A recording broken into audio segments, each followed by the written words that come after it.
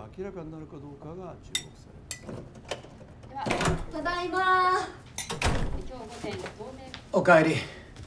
あもしかして得意のポトフ？正解。もう少しね。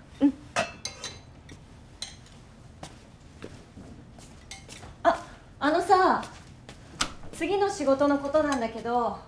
ああ本格って言ってたよね。うん。聖山環奈取材したいと思ってるんだ今テレビで見てたとこだよ。あの事件か。彼女完全にサイコパス扱いだよね。事件の真相とかまだ何にもわからないのでも自分の父親を呼び出して包丁で刺したんだろそういうことをさせる背景が何かあったかもしれないでしょ。混乱してて自分の気持ちをうまく言えないだけかもしれない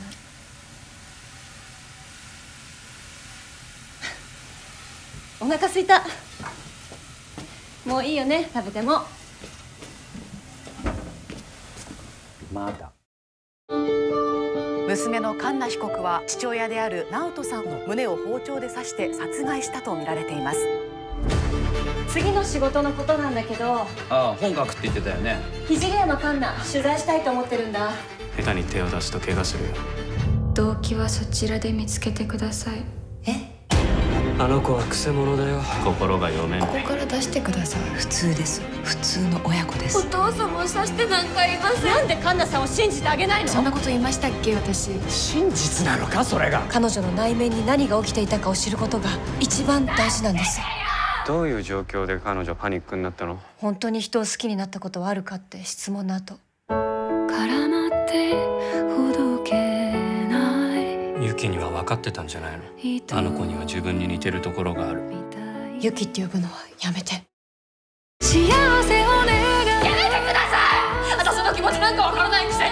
悪いのはあなたじゃない。明かされていく過去の記憶。なぜ彼女は父を殺さなければならなかったのか。被告人は無罪です。あなたの心を殺した。ユキは誰かに傷つけられたのかもしれないって。優しかった初めて好きになった人でした。その相手を突き止めて話を聞いてみたい。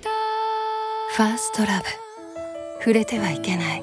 閉じ込めた愛の記憶。